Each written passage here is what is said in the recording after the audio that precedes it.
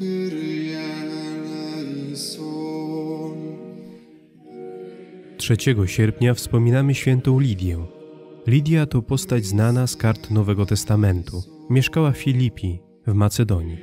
Była zapewne osobą zamożną, bowiem purpura, tkanina, którą sprzedawała, stanowiła towar luksusowy.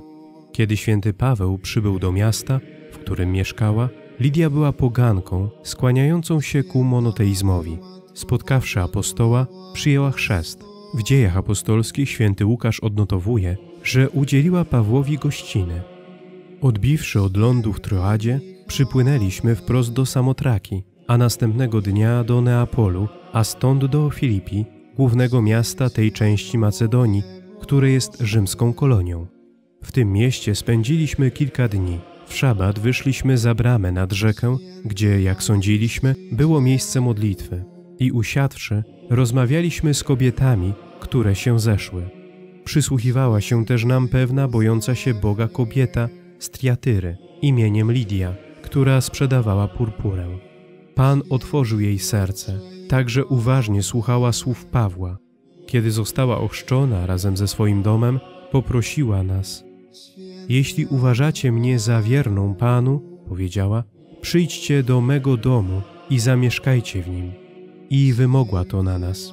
Paweł pozyskał ją dla Chrystusa jako pierwszą pogankę w Europie w czasie swojej drugiej podróży, która obejmowała Małą Azję, Macedonię oraz Grecję. Miała ona miejsce w latach od 50 do 52. Łukasz podaje, że spotkanie apostoła narodów z Lidią odbyło się nad rzeką. Taki był bowiem u Żydów zwyczaj, że jeśli nie mieli jeszcze własnego domu modlitwy, czyli synagogi, zbierali się w pobliżu rzeki dla obmyć rytualnych. Te miejsca nazywano proseuche, czyli miejscem modlitwy. Z mieszkańcami Filipi święty Paweł zawarł wielką przyjaźń, którą przypieczętował osobnym listem. Wchodzi on w skład ksiąg Nowego Testamentu. Apostoł chwali w nim nie tylko gościnność tamtejszych chrześcijan, ale też ich niezwykłą ofiarność, jakiej nigdzie nie napotkał. W tych słowach kryje się chyba również wyraźna pochwała dla świętej Lidii, która pierwsza udzieliła apostołowi gościny i zapewne nadal hojnie go wspierała w jego potrzebach. O dalszych losach świętej Lidii nie wiemy nic więcej. Baroniusz wprowadził jej imię do martyrologium rzymskiego w 1584 roku. Jest patronką farbiarzy. Módlmy się.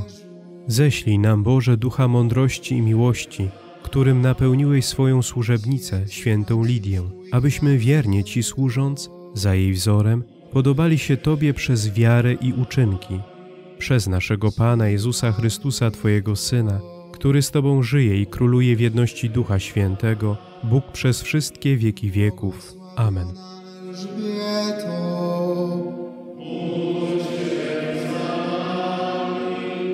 Wszyscy święci, święte Boże.